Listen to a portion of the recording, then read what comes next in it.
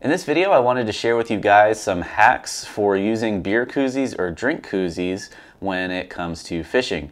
Now, a lot of us have a ton of these things laying around not being used and taking up space, so might as well put them to good use. Now, I have two koozies here. One is a standard, very thick foam style of koozie that I want to talk about, and also you have your standard uh, sleeve neoprene style koozie. Now, for the foam koozie, one of the biggest things that I found that this can be very useful for is if you have some Sabiki rigs or pre-made leaders lying around, you can easily wrap these around the koozie and store them that way. So real quick, just to show you, a lot of people usually use like a pool noodle for this, but if you don't have a pool noodle laying around and all you have are these uh, thick foam sleeves laying around, they can definitely come in handy. So if you've ever used sabiki rigs, you know these things can be a nightmare and a mess in your tackle box. So if you're storing them, this can be a great way to do so. So you're just gonna take the first uh, little hook that's on the end of the sabiki rig, take your first hook, hook that into really anywhere on the foam, like so. And you can then just wrap the sabiki rig around the foam and you don't necessarily have to put each hook into the foam. You can just start wrapping it and then put the hook in after you have it wrapped. And we're gonna take that last hook, very sharp hooks, since it's got me on the finger there, take that last hook and make sure you secure that one. That's gonna keep it tight on the beer koozie. And now you have a couple hooks hanging around. We're just going to dig them into the foam just to make sure they're out of the way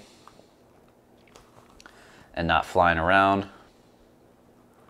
And when you're ready to use the sabiki rig, all you have to do is, you know, undo the hooks, unwind it, and you're good to go. So nice way to store these if you don't have a pool noodle and you have a bunch of koozies laying around, great option there. Now another handy way to use this thicker uh, koozie is to use it as basically a stager for your hooks and your lures. So as you know, these can typically fit into a cup holder, so you can just sit it into a cup holder and then you can actually take whatever lures or hooks that you want to use for the day and put them inside the koozie but hang them over the side from the hook. So the hooks are all inside of the koozie, they're not outside and exposed where you can bump into them and get hooked and you can just take whatever lures you're going to use for the day, hook them inside. On the outside edge, you're going to hook the lures, and then you're going to have the lure on the inside so it's not dangle, dangling around and can get bumped into. If you have a bunch of hooks that you want to have ready to go within arm's reach, you can do the same thing with those. Just stick them to the outside edge of the koozie and there you go. You have all your lures and hooks ready to go within arm's reach in a cup holder so they're easily accessible and out of the way. Now the last hack that I wanted to show with this thicker style of koozie is that it can be a great float for you know your keys, pliers, tools, uh, fish dehookers, whatever you may have. These things are very prone to sinking down to the bottom and they will usually have a leash attached to them. Uh, but if you don't want to attach the leash to yourself or your vessel, you could just take that leash, run it through the koozie.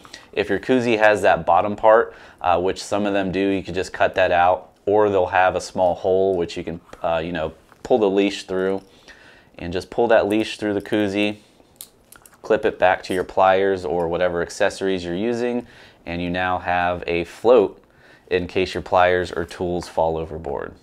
Now next up is the sleeve style koozie, uh, the neoprene style. It is still buoyant, but not as buoyant as, you know, the big, thick foam koozie. And there's really two main uses that I found uh, with this koozie when it comes to fishing. And one of the big ones being, you know, it's a great way to protect your fingers if you have to pull on your braided line or you need to grab your leader for whatever reason if you're trying to uh, grab the line and a big fish has it and you don't have gloves this can be a great alternative. And as you can see I have a hook tied on here with braided line and all you have to do at that braided line is just wrap it a couple times around the neoprene and then you can pull and tighten any knots you need to. Or again, like I said, if you're grabbing leader, this can be a great alternative as well. Now the last hack that I wanted to share with this sleeve style koozie is that it makes a great holder for either these spools of monofilament, you know, these 400 to 500 yard spools, or even little spools of leader material for fluorocarbon or mono. And the size will vary, you know, certain size will fit in here, but these standard uh, spools will typically fit. So with these spools of mono, you know, you most of the time we're going to lose the little piece of tape that keeps the line from falling off the spool or a rubber band that might break or we'll lose it. So what I like to do is just you know make sure the line on the spool isn't loose, make sure it's all wrapped up nicely. And then you're going to take that tag end, make sure it's still outside of the spool, and then you want to put the spool into the koozie with the tag end on the top of the spool.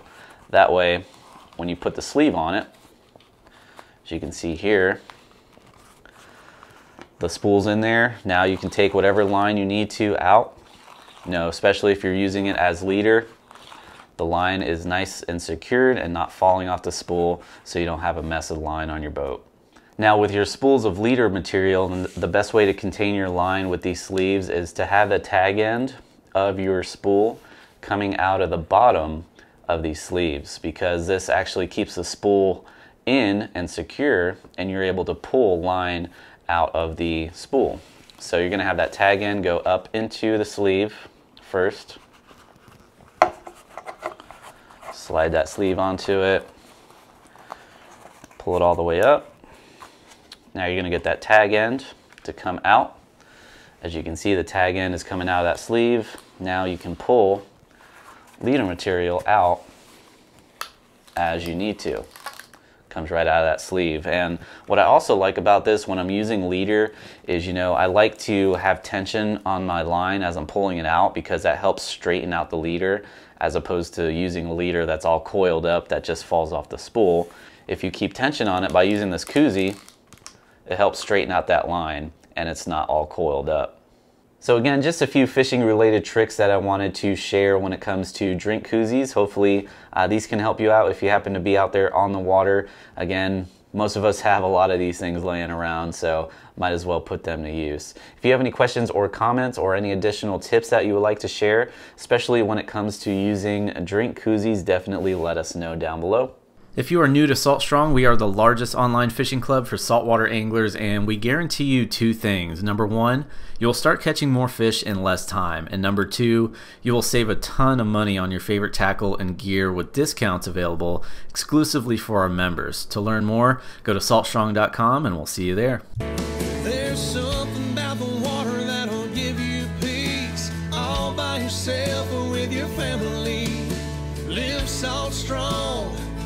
Strong the line today.